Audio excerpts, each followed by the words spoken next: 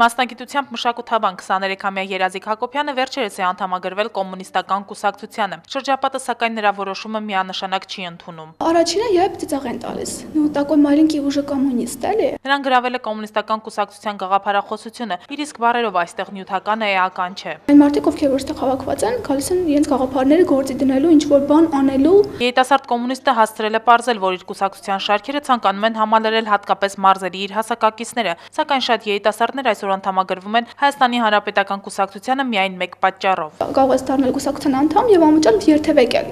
Ընդ որում դա շատերին գրավում է այսինքն դու կարող ես դառնալ անգամ դա խթան է։ Զավեն Սարգսյանը եւս երիտասարդ կոմունիստ է։ Նա ճարտարագիտական համալսարանի շրջանավարտ է, անհատ ձեռներեց։ Կուսակցության շարքերը նրան բերել է ազնիվ եւ արդար ապրելու ձգտումը։ Ոչ միայն նյութապես, այլ բոլոր առումներով։ Իսկ կոմունիստ դառնալն այսօր պարզվում է այնքան էլ հեշտ չէ։ Նախ պետք է փորձությունների ենթարկվել։ Կուսակցությանը դիմում են ներկայացնում